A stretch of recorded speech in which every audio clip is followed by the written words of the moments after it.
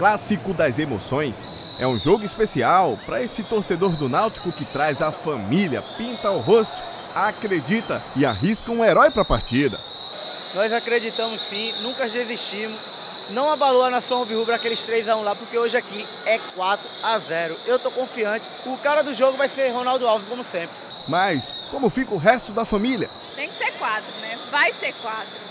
Para fazer um para cada, um para cada. É quatro, é quatro. Do lado tricolor tem vantagem mais cautela e confiança no artilheiro. Esse oba-oba ele já ganhou, não existe. 2 a 0 Santa Cruz. É o grafite e Lelê. Quem mesmo vai decidir a partida? Ó, eu acho que vai ser.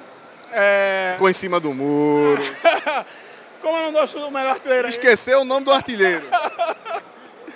grafite, vai ser, acho que vai ser um gol de grafite. Ah, que bom lembrou. A massa tricolor agradece. Dentro de campo, o duelo dos queridinhos das torcidas. De um lado, a defesa com Ronaldo Alves, que no apagar das luzes tem como companheiro Rafael Pereira e não Fabiano Heller. No ataque do Santa, Grafite comanda as ações, ajudado por Lele, Keno e Arthur. Na área técnica, Milton Mendes faz o tipo calmo, elegante. Já Gilmar dá o pouso enérgico, cobra e orienta o time. A cada jogada, os tricolores vibram, enquanto os alvirrubros reclamam, se manifestam. Grafite vira na área do jeito que dá e assusta. Mas na jogada em que Thiago Cardoso evita o gol de bicicleta, é Ronaldo Alves quem faz a festa. Defesa na frente, Náutico 1 a 0. Aí a torcida do Náutico resolve aparecer enquanto Ronaldo Alves é atendido. Acreditem, se machucou na comemoração.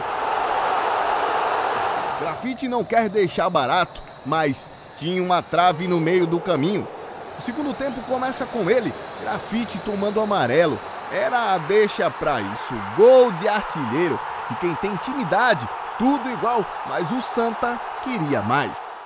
Quem joga para empatar está mais perto de quê? De perder. Então lá vai Dani Moraes para tentar equilibrar esse duelo de defesa. E na jogada de Keno, Grafite. Ah, esse ele perdeu. Ronaldo tenta responder, foi por pouco. E Keno, ah, Keno, perder esse gol incrível não estava nos planos do ataque tricolor. O Santa já caminhava para comemorar a classificação quando Lele antecipa a alegria coral.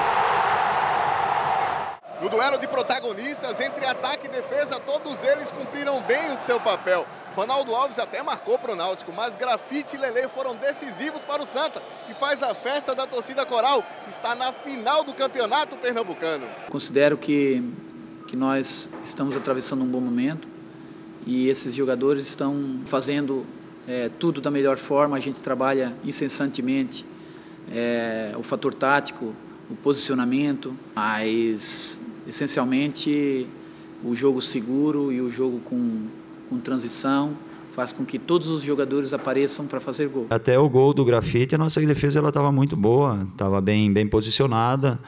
É, individualmente um que outro jogador abaixo, mas ela estava bem posicionada e depois, lógico, é, ela ficou exposta, né? Depois que eu coloquei é, o Rony, o Coelho, se você olhar, estava com quatro atacantes e o Valdívia como, como meia, como volante no lugar do Rodrigo. Então ficou muito exposta e não passa a ser, ser uma referência, porque o Santa Cruz puxava contra-ataque, às vezes seis contra cinco, cinco contra quatro nosso. E por falar em ataque, o torcedor do Santa já parte para cima do adversário, a final do estadual. Final queria o esporte, que eu vou dar no esporte.